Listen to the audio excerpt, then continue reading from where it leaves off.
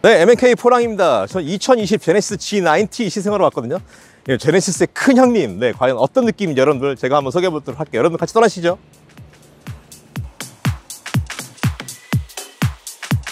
네, 드디어 저는 2020 제네시스 G90에 탔는데요.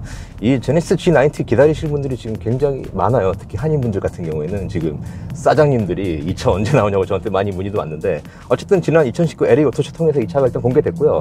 판매는 굉장히 빨라요. 이, 지금 뭐 디셈버부터 판다고 하는데 근데 이제 그 아까도 질문이 나왔지만 이거 사실 뭐 모델이 한국에서 이미 나온 지가 좀 됐는데 뭐 미국 시장 너무 늦게 들어온 거 아니냐 뭐 캐나다는 한 6개월 전인가 그때부터 팔기 시작했는데 뭐 그런 얘기들이 좀 나왔는데 뭐 제네시스 USA 측에서는 지금 딱 온 타이밍에 지금 판매를 시작했다고 얘기를 하고 있습니다. 어쨌든 간에 뭐 그런 또 기다리시던 분들한테는 뭐 지금이라도 살 수 있다는 건 굉장히 메리트인 것 같아요. 2020 제네시스 G90의 가장 큰 변화는 바로 디자인인데요. 그 제네시스가 추구하는 디자인 테마가 바로 그 수평적 구조예요. 어떤 그런 뭐 어제 잠깐 뭐 디자이너랑 얘기도 하긴 했지만 이제 어떤 그런 조잡하지 않고 현란하지 않으면서 어떤 하나의 수평적인 구조 안에 어떤 제네시스만의 어떤 테마를 만들어가는 게 바로 핵심인데 이거 2020 G90부터 아마 그 수평적 구조가 굉장히 아 이게 바로 그 그거다라는 그런 정답을 주는 그런 느낌으로 좀 다가오고 있습니다. 거기다가 이 제네시스가 또 추구하는 그 G 매트릭스라는 그 디자인 또 디테일 테마가 있어요. 그러니까 뭐, 뭐 쉽게 얘기하면 이렇게 막 지금 저 시트 뒤에 잠깐 보이시나요? 저런 이렇게 좀 패턴 같은 걸 얘기하는 건데 이 G 매트릭스 패턴이 이제 이 제네시스 이, 이 새로운 crest 그릴에도 이제 적용되어 있고요. 그리고 이제 그 이제 quad 타입 헤드램프랑 이제 rear 램프에도 그 G 매트릭스 컨셉이 들어가 있고 또 가장 중요한 게 또 디자이너가 직접 개인적으로 강자 가장 또 좋다고 밝혔던 부분이 바로 휠 디자인이거든요. 네, 19인치 휠 디자인도 그 G 매트릭스의 어떤 패턴이 들어가 있다고 그래요. 근데 뭐 솔직히 제가 볼 때는 약간 그 1980년대 뷰익이나 뭐 캐딜락이 쓰던 그런 느낌이 좀 강해요. 그냥 클래식하다 그럴까요? 네. 클래식하면서 그 안에 고급성을 어떤 끌어낸 느낌? 어쨌든 그런 부분들이 좀 G 제네시스 이번에 G90 새로운 모델에는 좀 많이 들어가 있는 것 같아요. 그러다 보니까 전의 모델보다는 조금 더 그 약간 고전적인 멋이라고 그럴까요? 네, 미국, 특히 미국 시장에서는 약간 그런 옛날 과거에 웅장했던 그런 미국 차를 좋아하시는 분들한테는 또 새로운 모던 감각으로 해석된 그런 또 luxury니까 또 좋게 다가오지 않을까. 또 어떤 그 또 상품성의 장점이지 않을까. 또 그런 생각을 하게 됩니다. 지금 뭐 전에 그 G90에 비해서 가장 도드라지게 바뀐 부분 같은 걸 따져보자면 일단 기어레버 주변에 전에 모델은 약간 high glossy를 사용해가지고 좀 약간 그 뭐라 그럴까 약간 좀 촌티가 난다 그럴까요? 그런 부분도 있었는데 이번 모델에서는 완전 그 부분 저 가죽으로 감쌌고요. 그리고 이제 그 cup holder 커버도 이제 진짜 real wood를 사용해가지고 굉장히 고급스러운 감을 주고 있습니다. 또 하나 이제 crash pad라고 대시보드 상단에 지금 바느질 라인이 장난 아니에요. 막 촘촘하게 들어가 있는데 어, 이건 뭐 거의, 이건 뭐 이 차를 뭐 한국에서는 뭐 조선의 뭐 롤스로이스라고 하는데 뭐 그 정도 수준까지 지금 제가 볼 때는 마무리랑 이런 품질 같은 게 굉장히 뛰어나게 올라와 있는 것 같아요. 또 하나 이제 또 디스플레이 모니터 같은 경우는 이제 12.3인치가 들어갔는데 이제 3분의 1로 여러분들이 창을 나눠 쓸 수 있고요.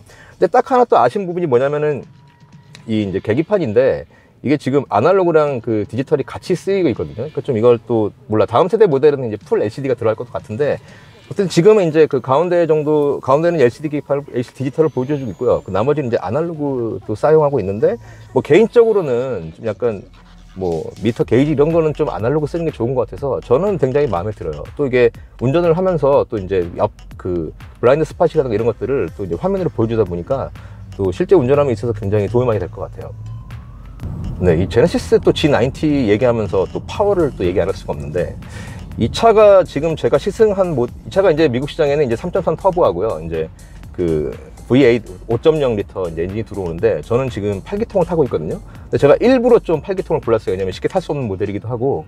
근데 이제 제네시스급 타시는 분들한테는 이제 사실 가속 페달 밟을 때 처음 느낌이 굉장히 중요한 게 이게 또 촐랑거리면서 팍팍 나가, 나가면 또 이게 격이 떨어지다 보니까 좀 묵직하면서 스무스한 거를 좀 오너들이 좀 좋아하시는 것 같아서 이 차도 좀 그런 부분 세팅이 잘 돼 있어요. 그래서 처음 타시는 분들은 좀 약간 둔한 거 아니야 라고 이제 느낌 들지만 사실 또 엄밀히 따져보면 이 차가 지금 420마력쯤 되고요. 토크도 지금 380 파운드 피트 제가 지금 뭐 정확하게 지금 다시 봐야 되겠지만 그때 나오다 보니까 사실 굉장한 또 그 속내를 가지고 있어요. 네, 파워를 가지고 있어서 여러분들이 원하실 때 굉장히 또 밟아주면 또 쭉쭉 나가주는 그런 느낌도 있고 또 3.3 터보 모델이 아무래도 주력일 것 같은데 3.3 터보는 365마력인데 지금 뭐 이제 팔기통이랑은 마력 차이가 좀 나기는 해요. 그렇지만 토크는 크게 차이가 안 나다 보니까 뭐 3.3 터보를 사셔도 뭐 또 낮은 구간에서부터 나오는 그 토크를 느끼고 싶다면 3.3 터보도 괜찮을 것 같습니다. 근데 변속, 변속기는 둘 다 이제 8단 자동이 연결돼 있고요.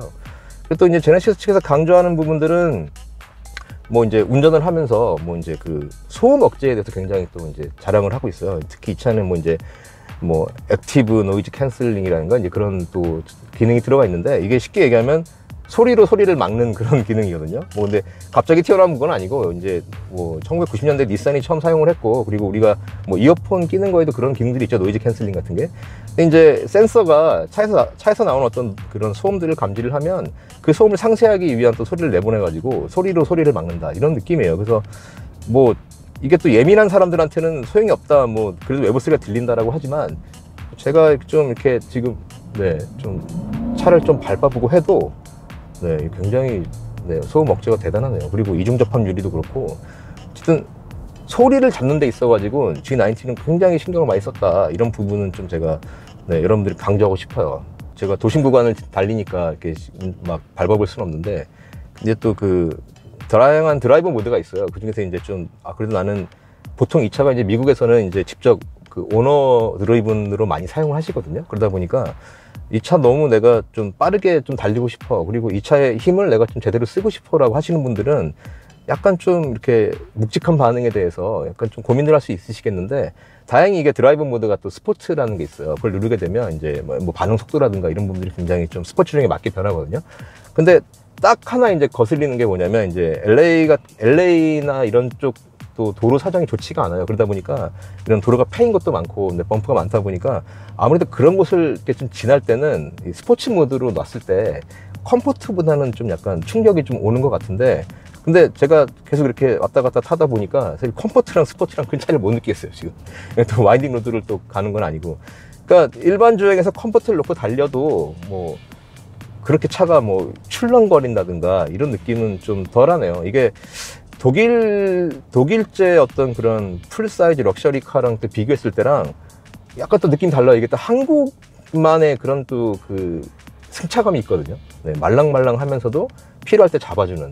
근데 뭐 독일제 차들이야 뭐 이제 처음부터 팽팽한 고무줄처럼 달리니까 그런 부분이 좀 아쉽긴 하는데 제네시스는 뭐 유럽과 한국의 어떤 그런 needs를 적절하게 섞어 놓은 그런 승차감이 어, 굉장히 좀, 네, 저는 좋게 다가오고 있습니다. 제가 지금 시승 기간, 시승 구간 중에 이제 베벌리 힐스를 지내고 있거든요. 근데 여러분들 이제 아시겠지만 베벌리 힐스에는 어, 뭐, 럭셔리카의 거의 전시장이라고 할 수 있죠. 굉장히 지금 고급차들이 많이 왔다 갔다 하는데, 뭐, 이분들이 지금 사실 제가 타고 있는 이 차를 굉장히 지금 막 이렇게 쳐다보고 있어요. 그래서, 아, 이건 뭐 지금 약간 얼굴이 좀 팔릴 정도로 지금 좀 그런데, 아무래도 이제 그 제네시스라는 브랜드가 이 미국인들한테는 아직까지 좀 약간 새로운 느낌으로 다가오면서 어, 이 차 굉장히 신생 브랜드인데 뭐지? 굉장히 좋아 보여. 뭐 이런 부분들이 있어요. 그러다 보니까 이 차에 또 관심을 갖고 내용을 들여다보면 어, 내용물이 너무 좋은데 심지어 가격까지 좋아. 이런 부분들이 바로 메리트로 작용을 해서 제네시스 구매로까지 연결되는 것 같습니다. 그 seven이나 이제 S3, S 클래스의 어떤 그런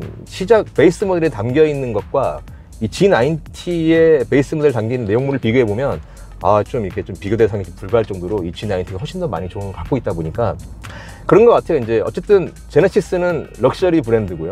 뭐 이쪽 시장에서 지금 개척해 나가는 입장이긴 하지만 신생 브랜드라고 하기엔 굉장히 좋은 결과를 많이 가지고 있어요. 실제로 뭐 G7 같은 경우는 그 카우브더에 뽑힐 정도로 지금 미국인들한테 굉장히 어 이제 얘네들 되게 잘한다 이런 느낌으로 다가서고 있기 때문에 그렇게 잘하는 브랜드의 큰 형님, 네, 바로 이 G90는 어떤 그런 모든 것들을 싹 담아냈다는 느낌? 네. 그러니까 아마 미국인들 실제 뭐 미국인뿐만 아니라 저희는 이제 미주 한인 예, 사회에서 계시는 뭐 이제 어떤 그런 사회 지도층 분들이 어 보통 제네시스 G90 저는 많이 사셨거든요. 근데 이번 모델도 그분들 굉장히 마음에 드실 것 같아요. 특히나 이제 이 차를 타면서 조금 더 내가 어 내가 그래도 뭐 우리 한국에서 만든 브랜드를 내 미국에서 탄다. 그랬을 때 이 플래그십의 느낌 네, 이런 부분들 주기엔 지금 새로 바뀐 G90은요, 네, 거의 뭐, 네, 제가 뭐 이런 얘기 하면 또 여러분들 리플 날지 모르겠지만, 네, 전 베벌힐스에서도 먹히는 디자인, 네, 그런 것 같습니다. 제가 지금 사실 벨에어로 좀 한번 들어가고 싶은데, 지금 모르겠어요. 어떻게 될지.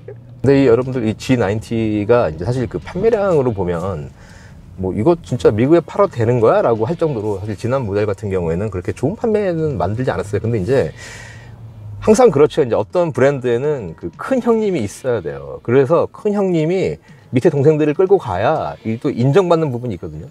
지금 뭐 여러분 아시겠지만 인피니티나 어큐라는 지금 flagship이 없어요 사실상 그러다 보니까 이게 럭셔리 브랜드라고 하지만 무슨 뭐 약간 좀 기운이 빠지는 네, 그런 느낌?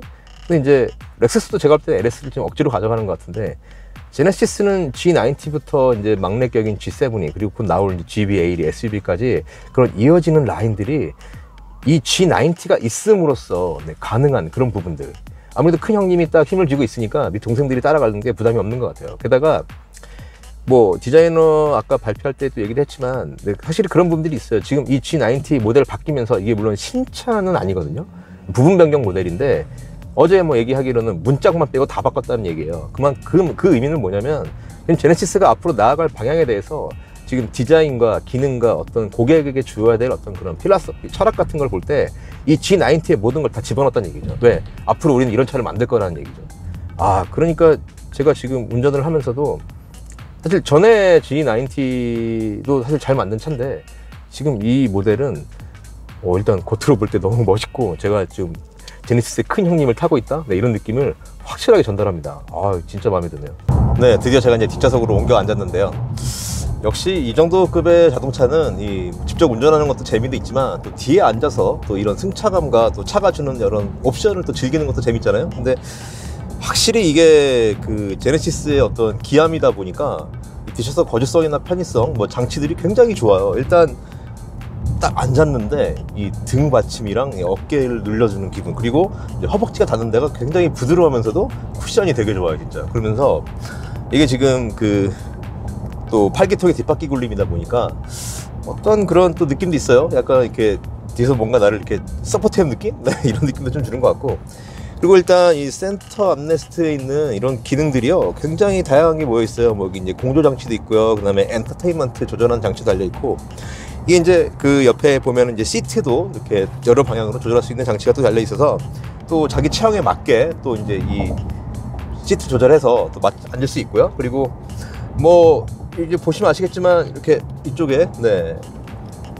네, 선세이드 올라오죠. 네, 이렇게 올라오고요. 이쪽 앉아서 반대편 네, 선쉐이드까지 올리 선쉐이드도 올릴 수 있어요. 그러다 보니까 뭐 이쪽에 앉아 계신 사장님이 아 이쪽에도 좀 햇빛이 들어와 그러면 이제 누구 부탁하지 않아도 딱 이렇게 올릴 수 있다 이런 장점이 있는 것 같고 뭐 시트 메모리도 여기서 이제 기억할 수 있도록 이렇게 장치들이 마련되어 있고요. 이 렉시콘 오디오는 스피커가 17개가 달려 있어요, 여러분. 그래서 와 이걸로 지금 뭐 제가 지금 시승 중이라 막 음악을 막 크게 틀 수는 없는데 뭐 경험자들에 의하면 네, 전 세대 경험자들에 의하면 이걸로 정말 여러분들 음악 들으면 진짜 너무 끝내주는 음질을 느낄 수 있다고 합니다. 네, 2020 제네시스 G90를 또 이렇게 런칭하면서요. 또 제네시스는 다양한 또 혜택을 소비자한테 제공하는데요. 그중에 또 제네시스 Connected라는 그 telematics 서비스도 한 3년 동안 제공을 하고요. 그리고 이제 그 특히 내비게이션 있잖아요, 여러분들. 더 이상 딜러에 갈 필요가 없어요. 이제 OTA라고 over the air라는 그런 새로운 또 서비스를 통해서 뭐 air로 그러니까 그 딜러 가지 않아도 이렇게 자동으로 업데이트를 해주는 그런 기능도 3년 동안 제공을 하고 또 이제 Sirius XM 라디오도 3년 동안 제공하는 걸 알고 있어요. 네, 그러니까 또 제네시스 마 고객들을 위한 이런 또 다양한 또 또 그런 서비스 측면에서 볼 때도 뭐 다른 브랜드들과 네, 차별되는 그런 부분들이 제네시스가 좀 앞서는 것 같습니다. 분명히 그 가격 대비 경쟁력은 제네시스 G90가 확실히 갖고 있는 거는 맞는 것 같아요. 그리고 다른 거 없이 그 이급 정 이급의 차를 사시려는 분들은 뭐 뒤에 이렇게 저처럼 앉으셔서 한 5분만 네, 5분만 앉아서 이렇게 이 느낌을 받아 보시면 아 내가 이, 이 급의 차를 살 때 G90 사겠구나 이런 생각이 확실히 들 겁니다 여러분. 네 여러분 제가 이제 G90 시즌 끝냈거든요. 근데 와 진짜 제가 3.3 터보를 탔으면 좀 실망했던 부분이 있을 것 같은데 제가 이번에 그 뒷바퀴 올린 5.0 탔거든요 와, 여러분 전 진짜 저 이거 강추.